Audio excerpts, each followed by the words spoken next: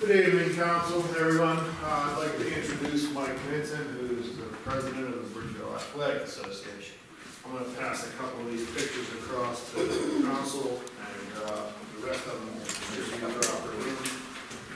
The only reason we're here tonight, and we will be very brief, is to ask permission to level that piece of ground that is shown in white. Uh, It's outlined in blue and shown in white, which if you go down into Chartiers Park, as soon as you get up to the, where the soccer fields are, that are mostly used by the St. Clair people, far into that soccer field, if you look at that picture, you can see where the fence is right there, that yellow fence, and, and outlined in white is where we want to just flatten the ground so that the little kids can have a place to practice their T-ball. Nothing else. I think that's Ed Snyder's property, isn't it?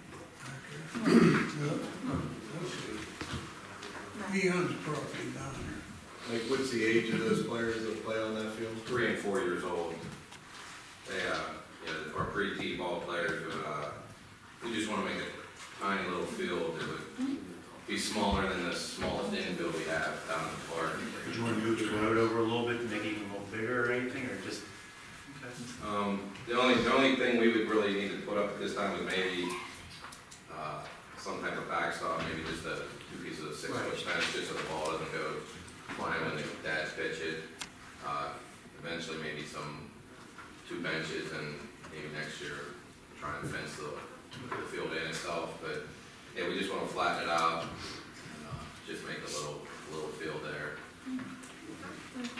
We could bring it up tonight? Go ahead and do it. The other, D- Dave, I believe you said you would do the, Uh, we'll do Or- everything we can.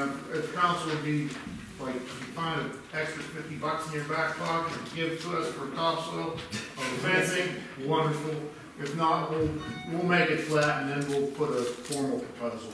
Okay, Okay, sounds good. thank you.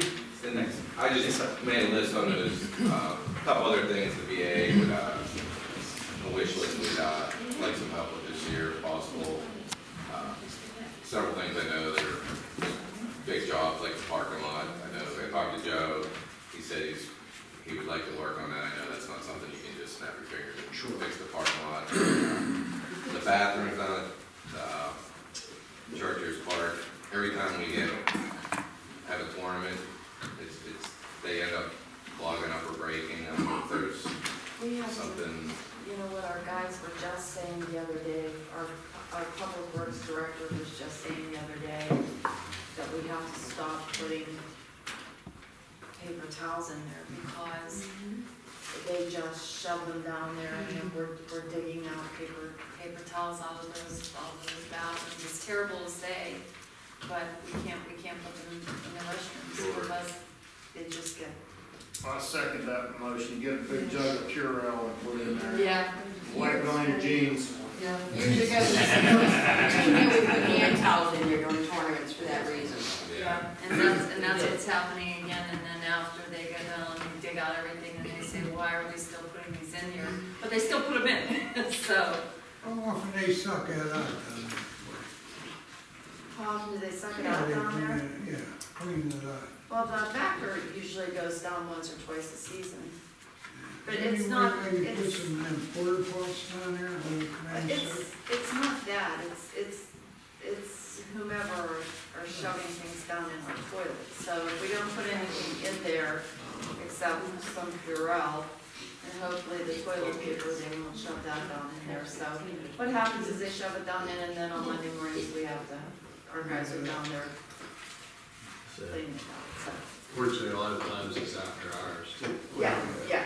If you'll put that under new business tonight, you can get that taken care of. Sure, thank you. Hold, hold on, you gotta brag yourself a little bit about the pirates with the grant. Oh, the, uh, yeah, one of the items on there is, we, uh, we got an eighty-four hundred dollar grant from the Pirates to build dugouts up at Cook School, which we'd like to start using more. Um, Again, Dave, uh, gonna help us try and, uh, find the right people to do the work, and, um, BAA is gonna pay for whatever else we, we need to finish the dugouts. Hopefully, we can get them done before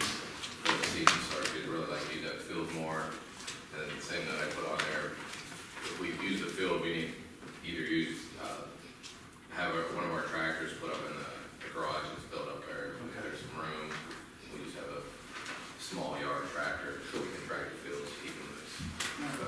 Mike, whenever you do this, because we ran into this when we built our, when we built our restrooms up there, labor and industry came in and we were chastised for not having a permit to build our own restrooms. Okay, So we certainly don't charge anything, but just make sure We have that we have a for you permit guys. up there because Sure. they'll be, they, I don't know how they find it, they look, they came down. I already talked to the Bridgeville building inspector about it already, and I'll make sure that he's there on site when we put the Yeah. police the dugouts, Yeah, but they're not real they're, big, I, they're I put about, a drawing in on they're that. about four feet. I think, uh, So, you know, as far as just, you know, him looking at the drawings and then just issuing a permit, so it's there, and there's no issue. Sure, we'll make sure we do that. Okay.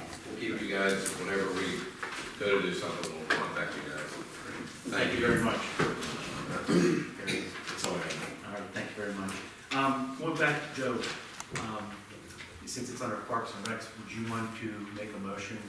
to- Oh, about the field. Yeah, might as well make it under Parks and Rec. Yeah, I make a motion to permit the BAA to, uh, grade out that little area at the end of the soccer field for the purpose of building a, uh, small T-ball area for the kids. Excellent. I'll second that. All those in favor? Aye. All those opposed? Motion carries. Thank you, Joe. Uh, Mayor?